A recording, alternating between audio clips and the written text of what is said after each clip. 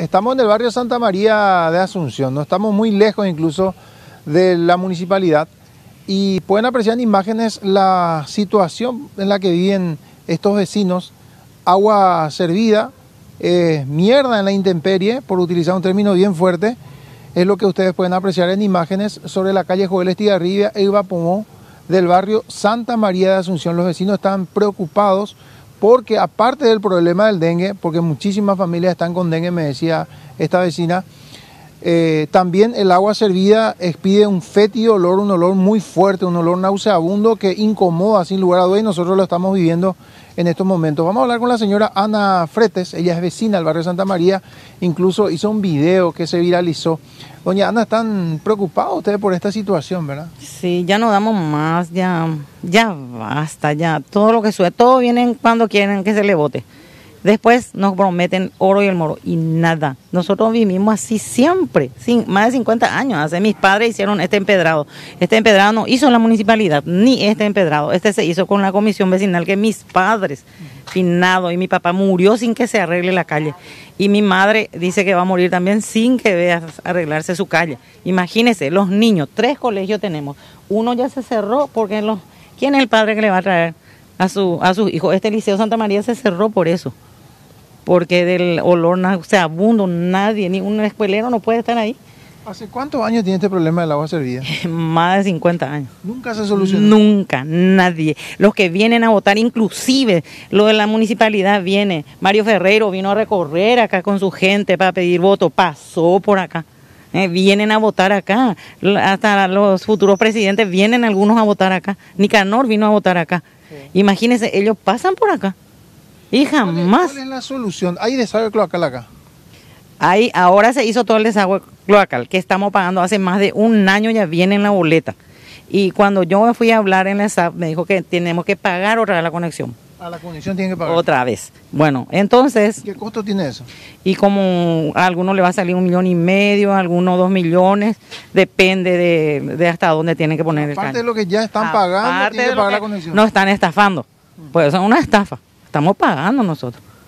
¿Y no tiene dinero para pagar? No. ¿Y por contado? Al contado. Y supuestamente ahora dijo que se va a hacer, que no van a ser financiado, ¿verdad? Entonces a ellos no les cuesta nada venir con una carpeta acá en, en Marangatú o donde sea y los vecinos se acercan y se van a firmar y dicen hasta cuánto tienen que pagar. Yo creo que va a estar mejor así por nadie. Si son, hay gente que no pueden pagar. Más hacia allá, peor todavía. Y aparte de este problema del agua servida, me decía que hay mucha gente con dengue también acá en la Hay muchísimo, muchísimo. Allá toda la cuadra están con dengue. Esta cuadra la misma cosa. Algunos están levantando, otros están internando. La señora se internó 15 días, ahora salió y ahora le dio meningitis porque tenía la defensa muy baja. Bueno, y también vamos a mostrarle, vamos a pedirle a Juan Blas para que nos muestre, Diego. Juan, vamos a mostrar la basura acumulada sobre la calle Joel Estigarribia. Parece un mini vertedero. Esta es la situación aquí en el barrio Santa María de Asunción. Calle en mal estado, agua servida, mucho dengue y basura acumulada. Es como la guinda que les faltaba a la torta. Esta es la, esto es lo que viven los vecinos del barrio Santa María. Sí, señora, ¿sus nietos están con dengue? Sí, los dos nietos. ¿En su familia? Con, defensa muy baja y estamos preocupados. Cada día de por medio le hace análisis. Prácticamente toda la cuadra, ¿verdad? Toda la cuadra. Nadie se salva. Ahora la señora, mi vecina, el señor donde murió, su inquilina también está así. Sí, con mareo, que no puede caminar. Y la chica de ahí también, de la despensa, no puede caminar más su de su pierna. No, así De estamos. Ese es Mario Ferreiro, es un puerco. ahora él ya no está. Pero el que está, ¿quién hace algo? ¿Y, quién hace? Él está haciendo todo. Dice, ¿por qué está limpiando todo, otro lado donde no se Todos renuncian y se quedan en los pareí, como se dice. Sí. Mm. Sí. Catalina Gaona soy. Bueno, gracias doña Catalina. Escucharon ustedes también el reclamo de doña Catalina, bastante indignada por toda esta situación que se vive aquí en el barrio Santa María de nuestra ciudad capital, Diego. Bueno, terrible realmente. Eh, aguas cloacales, miren lo que es el basural también.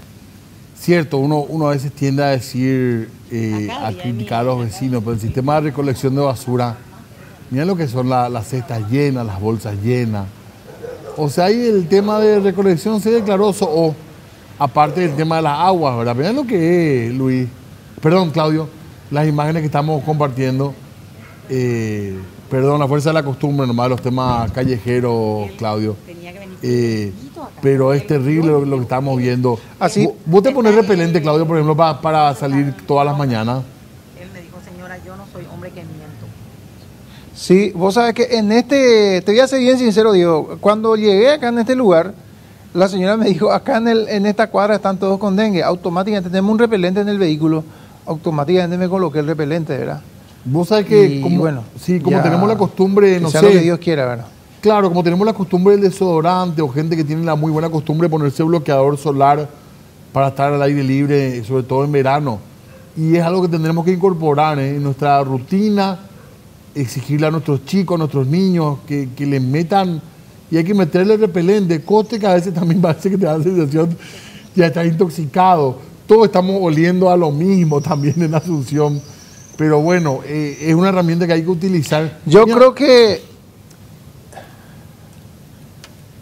Yo creo que, Diego, los perfumes ya tienen que, tienen que venir con fragancia citronela, más o menos. Y usamos nomás ya perfume de citronela. Sí, ¿verdad? Tendríamos que, tipo un régimen igualitario, usar todo, todos tendremos el mismo olor. Eh, bueno, Claudio, un lindo, un lindo barrio que está muy descuidado, lamentablemente, también por, la, por las autoridades.